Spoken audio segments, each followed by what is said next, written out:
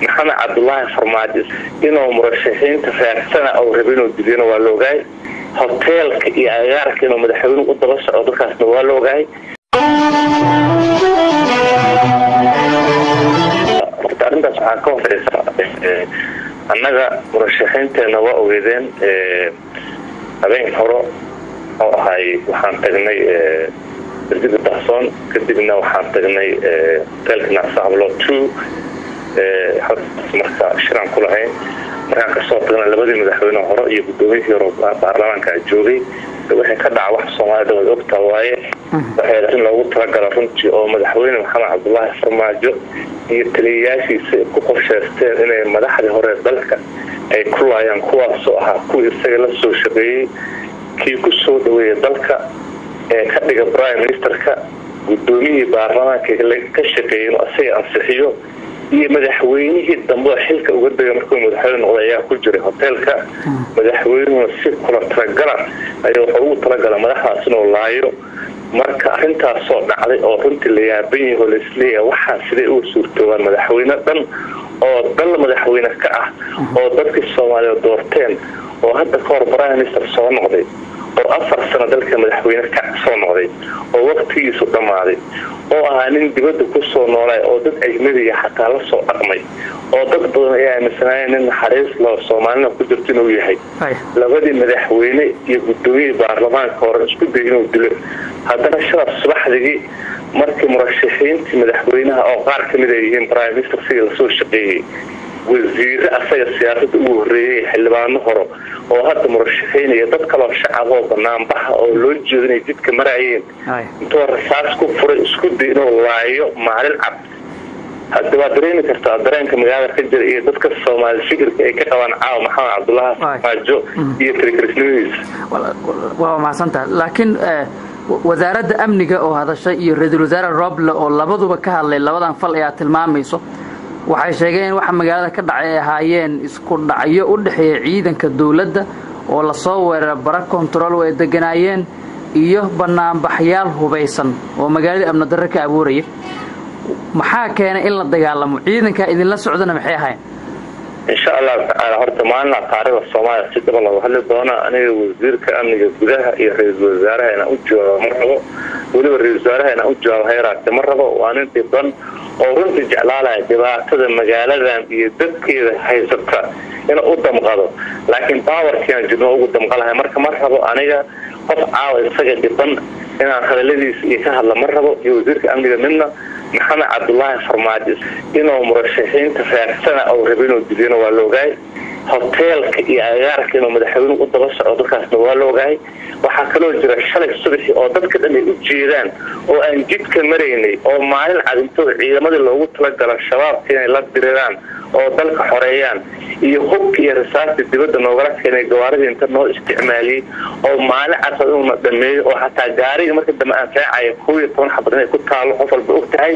Madaxweynaha waxaa la qaatay atleast unta kasta yiraa dadkan inaan dilaan rabay ilaahayaa badbaadiyey waana nabadta waa mid kalea kugu dara waxaa waaye. Laakiin waa hubaysnaydeen sooma. Banaanbaxyaashu dad aan hub wadan maahayne waxaa la socda ciidan oo ilaalinayay. Taalada daljirka ciidan baa idiin joogay oo kuwii dawladda la dagaalamay sooma. Sideedaba waxaan rabaa inaan kuu sheego qofka madaxda ah la yaqaan dalka oo madaxweyne ka soo noqday oo prime minister ka soo noqday oo wasiir ka soo noqday oo xildhibaanka ka soo noqday hadda murashaxa.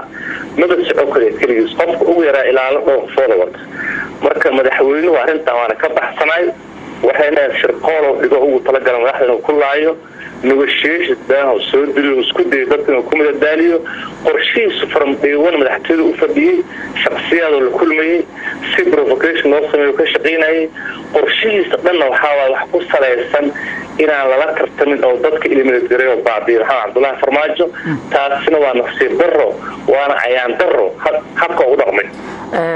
Mustaf waxaad ka mid tahay musharaxiinta xildhibaan baarlamaan ka tirsan baa tahay oo hadda ku waktiga ka dhammaaday ah hore xilala dalkan uga soo qabato ilaa wasiire ah dowladdu guddiyo ee magacaawda oo baydhabo ku jiray waxay isfaham ka gaareen murankii doorashada oo xataa arrintii gado oo ugu adkeed ay ku jirto. Muqdisho waxaa jooga madaxweyneyaal maamul goboleed waxaana la filaya inuu shir ka dhaco oo doorashadii heshiis rasmi ah laga gaaro hadda isfaham laga gaaray. Haddiiba doorashadii madaxweynuhu ogolyahay oo laga wada hadlay oo laga heshiiyey waxaan aad u banaanbaxaysaan aad raadinaysaan maxaa wey horta adoo mahadsanta waxaan rabaa dhowr qodob taabtan markow dadka maxamed cabdullaahi farmaajo oo ku tilmaama uu leeyahay nabad ma rabaan horta waa dadkii soomaaliya carka laga bilaabay ilaa hadda xil ka soo hayay oo dalkan dibudhis ku soo sameeyey oo wadahaalka maxkamadaha la soo galay oo madaxkamada kadib dalka soo hogaamiyey oo dalkan dhibka u soo maray. Isagaa dalkan qof ugu dambeeyo yimid oo saarka soo galaa dadka hadda dalka jooga. Ko labo waxaa tiri arrinta gadaa laga heshiiye horta arrinta gada mar raaba laga heshii karay sababtoo madaxweynuhu waxaa la rabay maadaama uu deegaanka ka soo jeedo oo dhaqanka soomaalida yaqaano isagoo madaxweynihii dalka inuu gacmaha la gala maba ahayn. Waxaa la rabay inuu prime ministerka u diro. Waxaa la rabay inuu gudoomiyaha baarlamaanka u diro. Hadduu si kalsooni ku qabin xataa waxaa la rabay prime ministeradii deegaanka ka soo jeedo isku reertihiin xataa inuu u diriyo. Dhaqanka soomaalida waa la yaqaanaa madaxweynuhu arrimahaas oo gacmaha la gala kala tag iyo dhibaatayba keentaba. Waxaa la rabaa isagaa madaxweynihii dalka ka waxaa la rabaa hadda intaasoo dhan waa laga soo gudbin laakiin. Hadda doorashadii iyo doodii wax dhan waa laga heshiiyey. ma ma laga soo gudbin. Sideedaba seventeen september heshiiskii ah waana aqoonsanaa waana ku shaqaynaa laakiin madaxweyne waktigiisu dhacay. Maalin kasto shir kastoo laysugu yimaado. Xamaru kala cara shirka wuxuu la aada garowe marba mar kasta wuxuu isku dayaa inuu dilay taarki oo sameeyo. Waxaa lagu heshiiye aawen intay yaalaan dadka la soo bandhiga soo maahayn. Maxaa weeye tallaabada hadda xigta ee aad qaadaysaan? Mar haddii banaanbaxyadii la dhigay uu dhiig ku daatay dowladduna ay diidan tahay in banaanbaxyo dhacaan.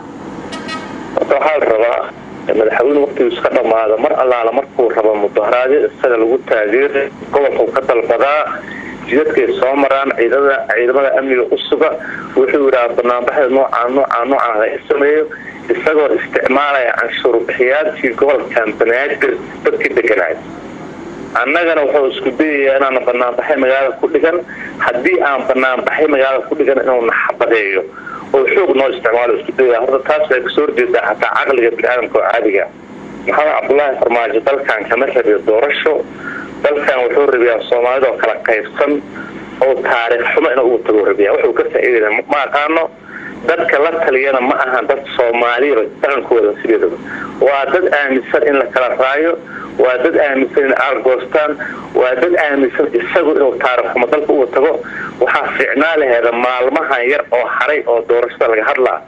Ama dad wanaagsan oo soomaaliya inuu tala weydiiyo ama inuu yidhaha intaan ka badan kuma awoodi karo isaga taga dalkaa lagaa idinka hadda ma joojinaysaan banaanbix mise waad wadaysaan banaanbaxa xaqaanu leenaha dastuursa noo dhiga waa wadaynaa ilaa maxamed cabdulaahi farmaajo oo ogolaado inuu si uga soo qeyb geliyo doorashada murashaxiinta kale lamida maadaama oo waqtigii isagoo dhammaada oo ciidamada adeegsada teeda kale.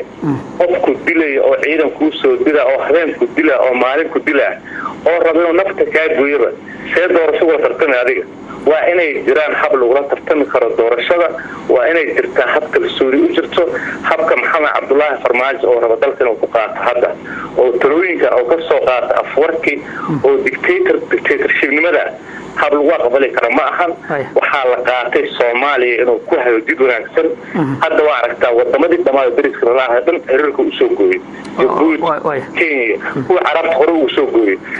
Uga tagaa taarikh xumo soomaaliya. Marka waxaa la qaatay dadka soomaalida ay ka tashadaan maxamed abdullahi farmaajo. Waa mahadsantaa waxaad sheegaysaa in madaxweyne farmaajo uu rabo inuu habeen idin dilo inuu maalin idin dilo banaanbax uu idiin diidan yahay dagaala ka soo horreeya sidaa sheegaysaan mar haddaaba intaa og tihiin aada leedihiin welina banaanbaxaan wadaynaa soo idiima muuqato inaad naftiinnii iyo tan dadka shacabka aad halis gelinaysaan. Dadka soomaaliyeed siday sharaf iyo karaamo ugu noolaadaan. Waa inaan loo dulqaadan qof dictator oo kaligiistariya kaligiistariyana markastoo isu dulqaadatid waxa waxa ka daranoo samaynaa marka intuusan nooga fogaanin waxaan ku wadaynaa banaanbaxyo ilaa oo dadka soomaalida taladooda dhegaysto dadka miir qaba taladooda dhegaysto hadda waxaad muuqataa inuusan dhegaysanayn dad miir qaba taladooda oo dad kale ka dhegaysanayo ma jiraa wax waanwaan ama dadaalla ah oo dhinac kale ka socda oo xal u helaya cabashooyinkan aad qabtaan iyo madaxtooyada ee ka aamusan dibadbaxyada dhacayo. Maxamed cabdullaahi farmaajo weligiisa aliis ma tanaasulinba aliis qofoo la fariistan wax uma tanasulin weligiisaa looga tanasuli jira? Maadaama afartii sano dhammaata marka oo qof caadiya murashaxa waxaa la rabaa inuu ogaado waqti dhamaadan hadduu u dhaqma nin waktigiisa weli jiri oo madaxweyne dalka ka oo dalka xakumo oo isku dayo inuu dalka sii xakumo oo xoog sii xakumo banaanbaxyadaa lagu wadaa wax kastoo dastuurka sharciga noo banaynaya waa lagu wadaa